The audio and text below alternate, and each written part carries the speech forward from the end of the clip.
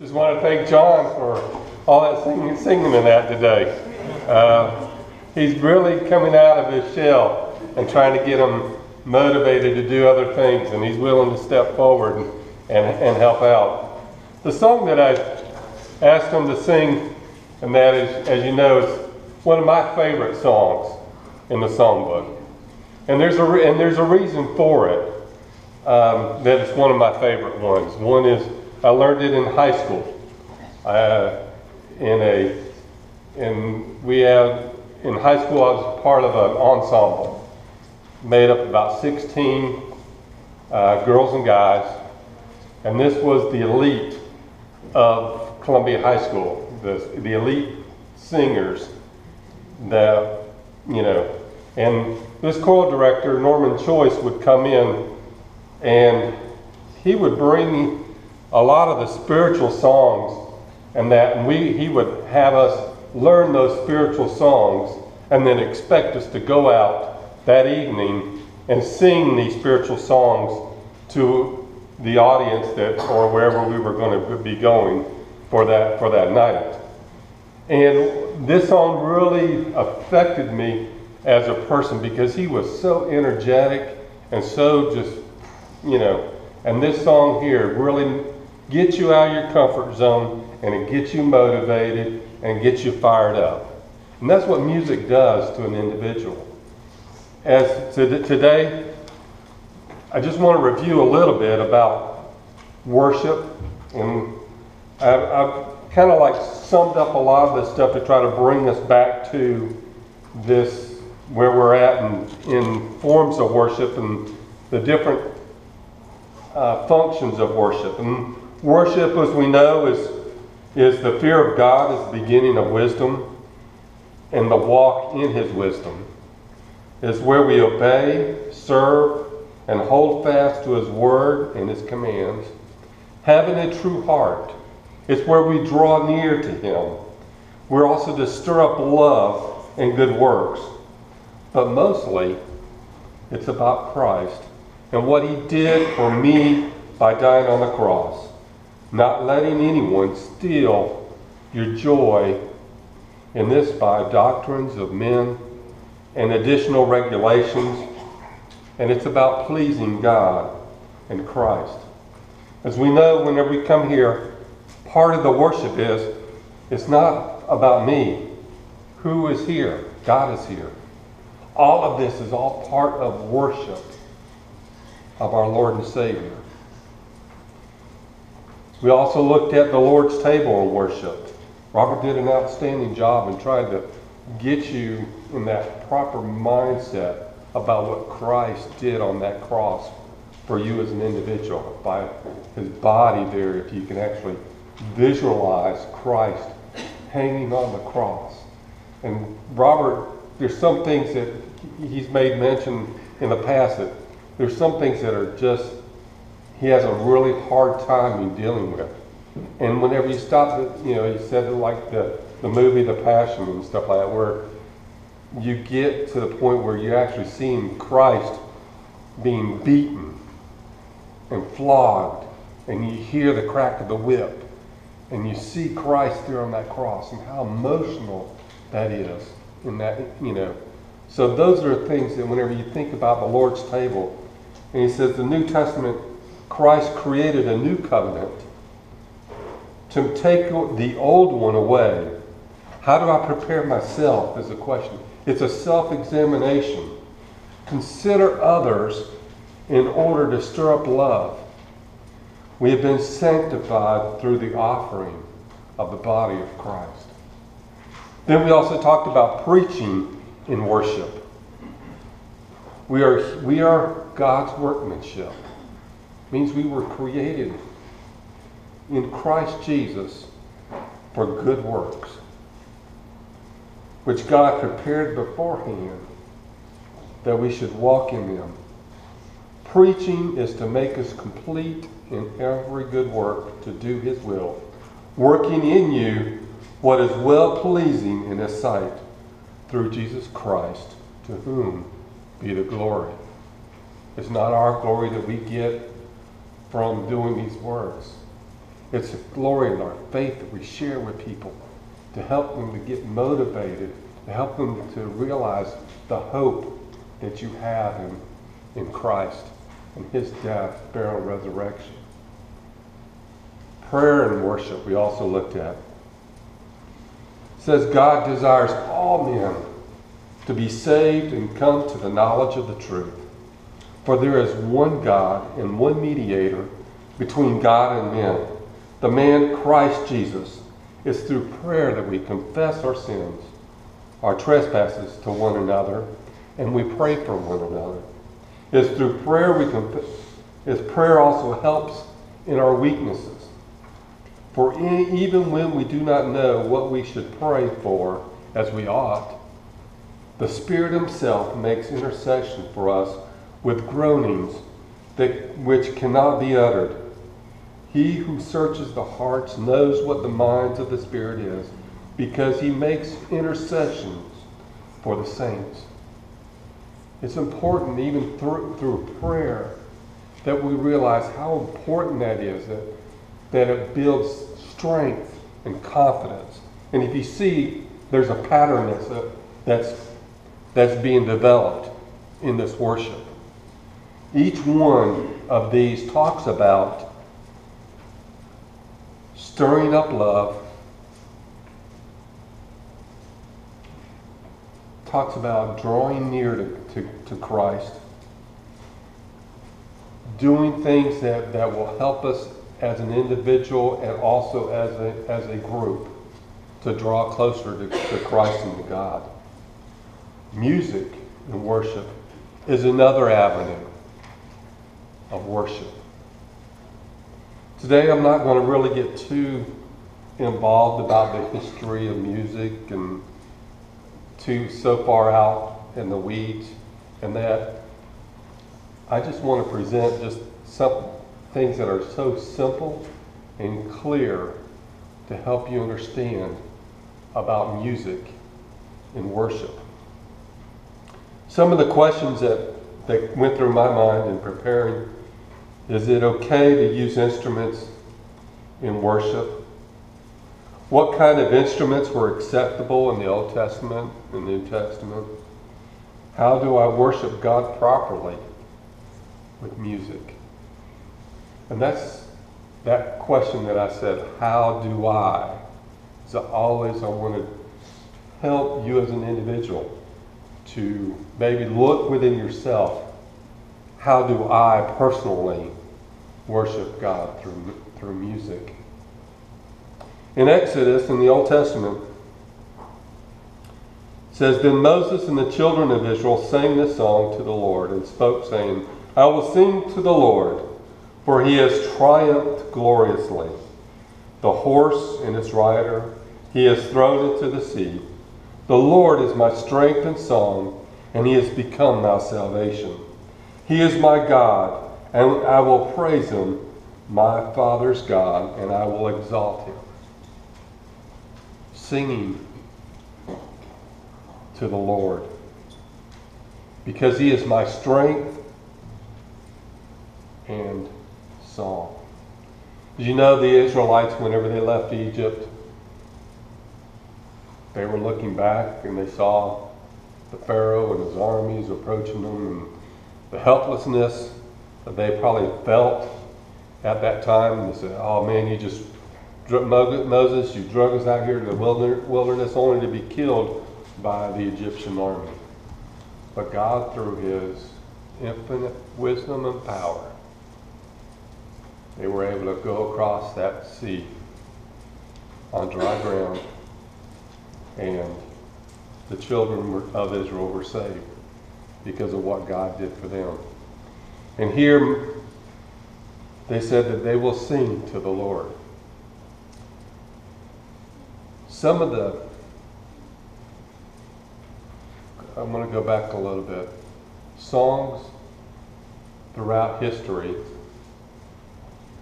each, each one of us may have a favorite song. Songs that put chill bumps on you as an individual.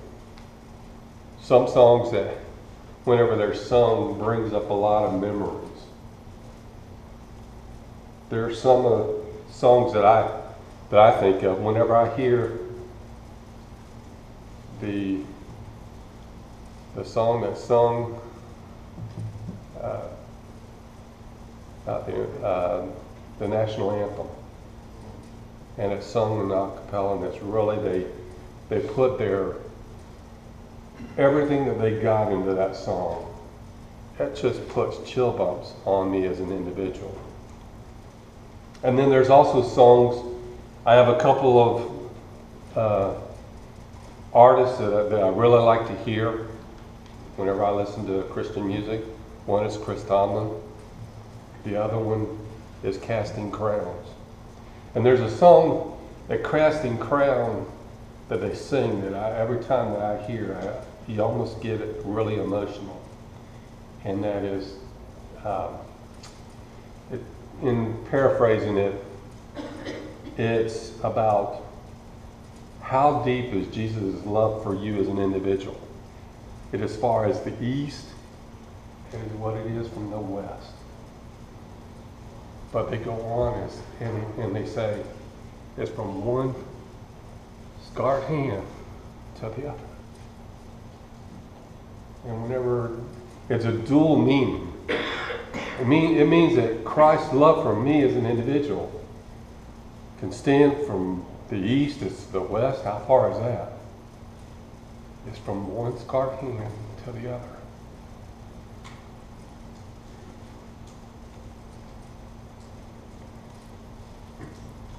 And whenever you stop and think about that as an, as an individual, you're hearing these words, it really, it does something inside here. It does something up in here. And it, what it does, it tries to bring you back closer to God and drawing back near to Him. Then we'll also too in First Chronicles chapter 15, verse 16, and then 28 to 29. King David. Said David spoke to the leaders of the Levites to appoint their brethren to be singers, accompanied by instruments of music, string instruments like harps and cymbals, by raising their, the voice with resounding joy. Thus all Israel brought up the ark of the covenant of the Lord with shouting and with the sound of the horn, with trumpets and with cymbals making music with string instruments and harps. And it happened as the ark of the covenant of the Lord came to the city of David that Michal, Saul's daughter, looked through a window and saw King David whirling and playing music, and she despised him in her heart. This really has a visual connotation. Here, King David he's trying to bring the Ark of the Covenant back into Jerusalem and to, really, he wants to make this as a dramatic and uh, something that's really, really important to him. So what does he do? He goes to the Levites, you know, are you know they control the, the temple and the sacrifices and that tribe, and he talks to them, and he has singers and uh, people that play harps and, and cymbals. And where's David? David's at the back, and he's having a grand old time. He's just, you know, having the time of his life. Dan, you know, whenever you start to stop to think about uh, this, and and then all of a sudden, the last statement, I really kind of, whenever I saw this, I was like, wow, Saul's daughter looked at David playing music and, and she despised them with a heart. It's that envy. Whenever you see somebody having a lot of joy in, in what they were doing, but yet somebody still had a problem and, and despised them in their heart. Again, it's joyous here. First Chronicles 16, verse 23 to 24 says, Sing to the Lord, all the earth, proclaim the good news of his salvation from day to day. Declare, declare his glory among the nations, his wonders among all peoples. Psalm 33, 2 to 3 says, Praise the Lord with a harp. Make melody to him with the instrument of ten strings. Sing to him a new song. Play skillfully with a shout of joy. Psalm 59, 16 to 17. But I will sing of your power. Yes, I will sing aloud of your mercy in the morning, for you have been my defense and refuge in the day of my trouble. To you, O my strength, I will sing praises, for God is my defense, my God of mercy. As you can see throughout this, there's instrumental music that's being brought in to, to the things that are going on, and it's all acceptable by God. It's not commanded or said it has to be done this way, but in the Old Testament, it's something that, that's acceptable. And here we see that that whenever they did, they played skillfully. That means that they knew what they were doing. They knew how to play that instrument. It wasn't something that uh, maybe I might hit the right note, the wrong note, and maybe I know how to play this instrument or not. It's they played skillfully. That means they practiced. They did everything that they could to make sure that whenever they did this, that, that it was in a professional manner. Also, to Psalm chapter 66, verse 4. This is a, a psalm in which it's a chief musician, and it's a song of a, of a song. It says, All the earth shall worship you and sing praises to you. They shall sing praises to your name, Selah. And if you notice in the Psalms, you'll see that word, Selah, quite a bit. It's mentioned about 74 times, according to the research that I said. And a lot of people, they don't really know what the word Selah is. There's, and I'm going to give you some of the def- definitions, of terminology that, that has, uh, in the research that I had. It says it's a musical direction, and it's usually at the end. Uh, but again, the set definition is not really known, but it's a measure carefully the, to reflect upon the preceding statement. So it's like it's telling you that we're ending it here, but you really need to be reflecting on the words that were just made mention before. So it's trying to put emphasis on what was just said. So, and also to Psalm chapter 95, verse 1 to 2. Oh, come, let us sing to the Lord. Let us shout joyfully to the rock of our salvation. Let us come before his presence with thanksgiving. Let us shout joyfully to him with psalms. Isaiah 38, 20. The Lord was ready to save me. Therefore, we will sing my songs with string instruments all the days of our life in the house of the Lord. Again, the Old Testament, it, it doesn't have any strict regulations that you can't and you, you can and you can't. But whenever here the Old Testament, it's sort of an acceptable, uh, you know, practice in that to use instrumental music. In the New Testament, you'll find something a little bit differently. And all the readings that we'll have today, it's a little bit different. And there's a, there's a reason for it. The reason is, what is your instrument? It's your voice. It's your heart. It's an attitude. It's things that we're so, so the praise and stuff like that. It's supposed to come from within. In James chapter 5, verse 13, it says, Is any among you suffering? Let him pray. If is anyone cheerful, let him sing psalms.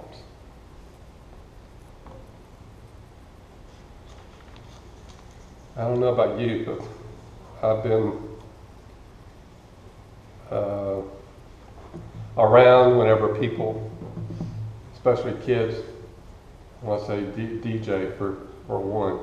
I can remember him being in the shower one time and we're sitting out in the living room and boy, he's in the shower. What is he doing?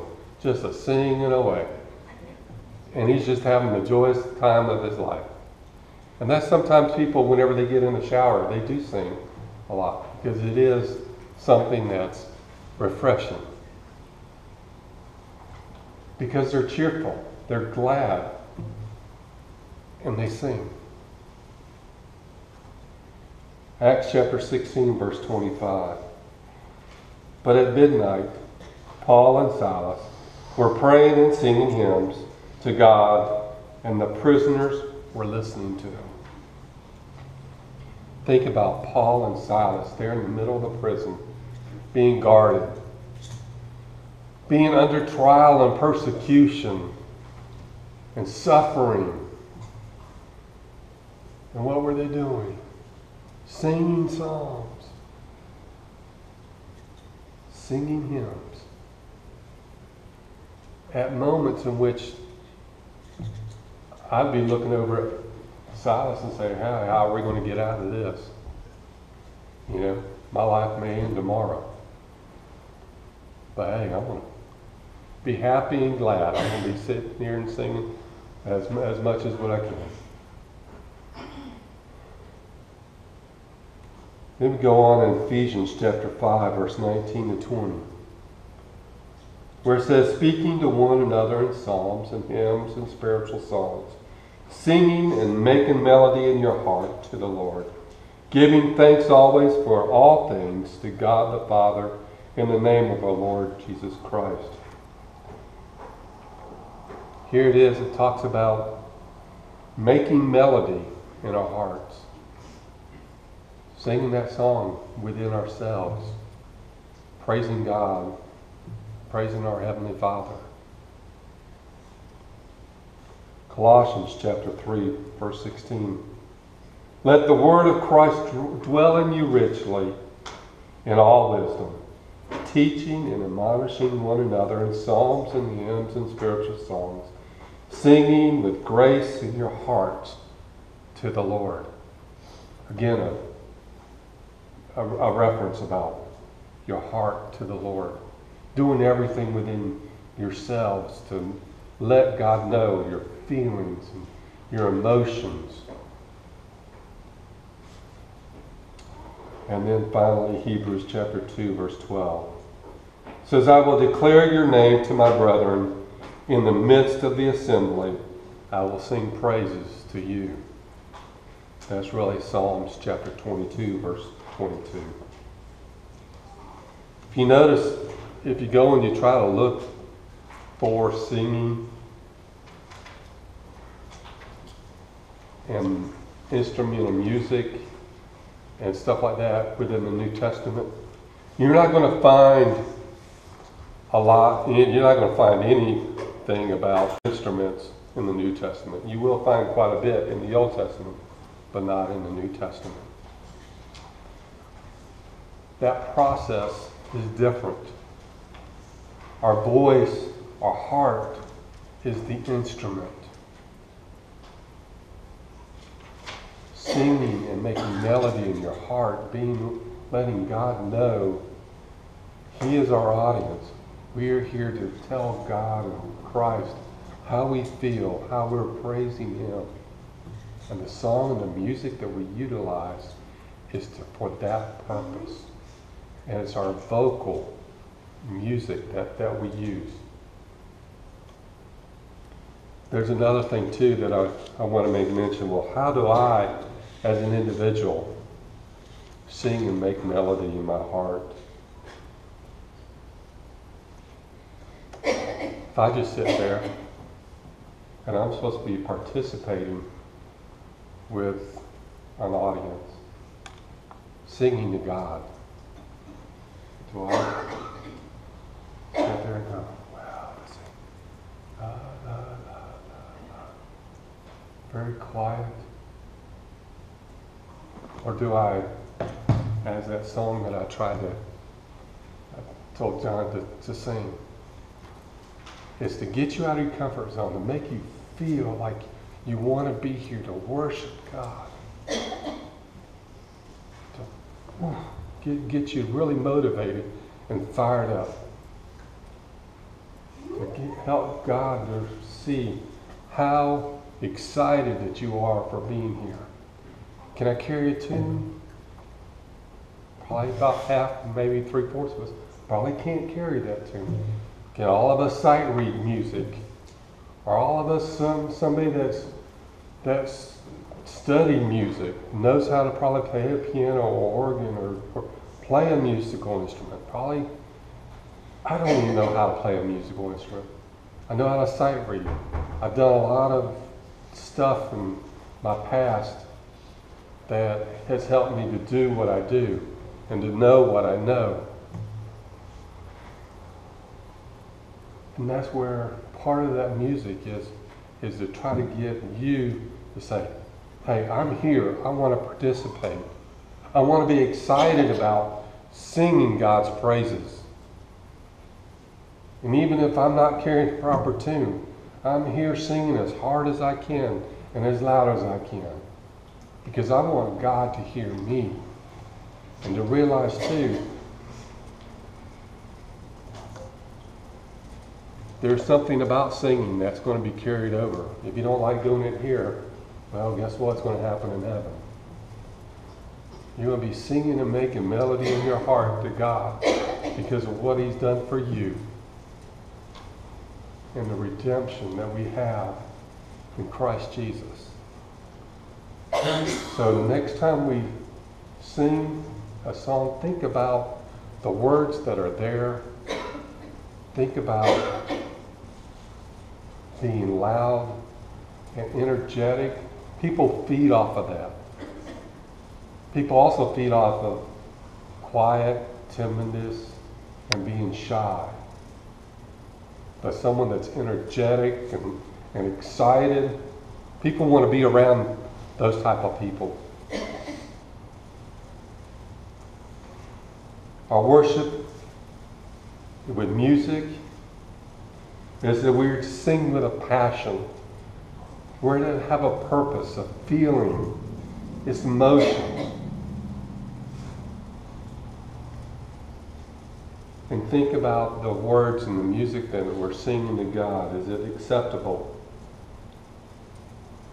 And we need to realize, too, where the Bible says something that we readily accept it.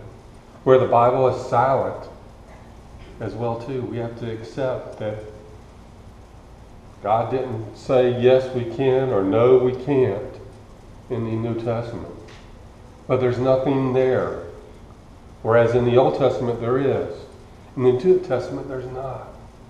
So if it doesn't say anything about it, then why would we want to take that risk and chance of bringing something into our worship service that may or may not be acceptable to God? And to think first that our voices are an instrument. That's the instrument. And that really is what I wanted to present to you today as an individual about music and worship. And there's a lot of good music that's out there. A lot of new songs I would like to bring in to our worship service. And maybe I will, maybe I can't. But these are some songs that I, that whenever I sing, I really, it touches me. And maybe music touches you as an individual too. Some songs that you, favorite songs that you might have. Uh, so that's where, as an individual, I want to get you to is to understand the importance of music in worship and carrying that over into our worship service. And then each and every week that we gather together, we always offer an invitation. The invitation is for those that are not in Christ and want to be buried with Christ in, in the watery grave of baptism, to be raised out of that watery grave a new person. That's day one. And there's song about out there about day one. It's from that day forward that you said you're going to change your life and you're going to walk faithfully with God and to be with God.